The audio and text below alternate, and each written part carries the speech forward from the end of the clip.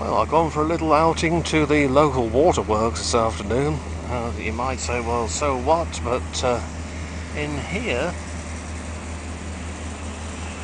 is a dinosaur.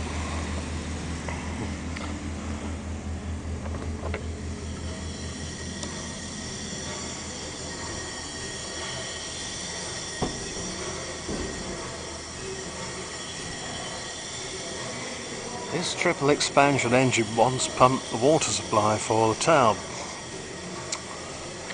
It's a very similar type to those used on the Great Ocean liners. Theirs would have been much bigger. This only puts out about 400 horsepower, believe it or not.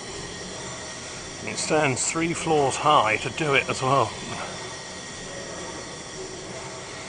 And the stroke must be a good six feet.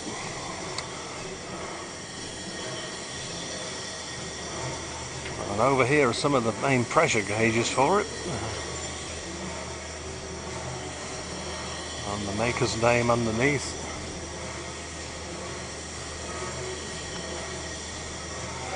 There were once two of these, but in the 60s the other one was scrapped and replaced by a diesel generator when the plant was converted to electric operation. But at least they did think to keep this one although it doesn't run on steam, it's compressed air, it will make it turn over, as you see.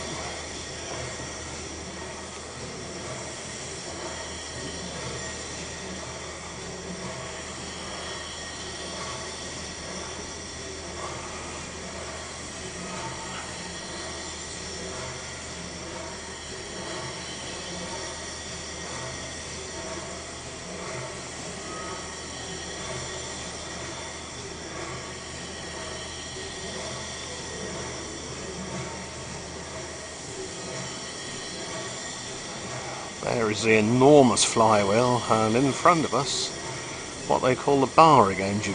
Sometimes these things will stop in the wrong position and when you try to apply steam nothing happens. So the barring engine would be fired up engaging that massive pinion there on the ring gear inside the flywheel and it would just turn the engine over enough till it kicked into life at which point the pinion would be thrown out of gear by the inertia and the throttle closed to this little engine here. This thing's the sort of thing you'd have had in a river launch probably about a hundred years ago.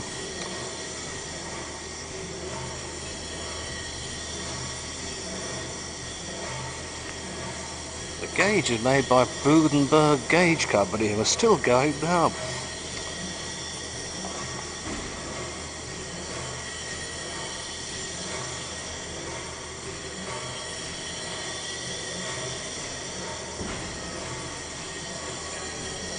The crankshaft there once drove another pump over there, but that was converted to electric drive. Anyway, I hope you liked it and see you next time.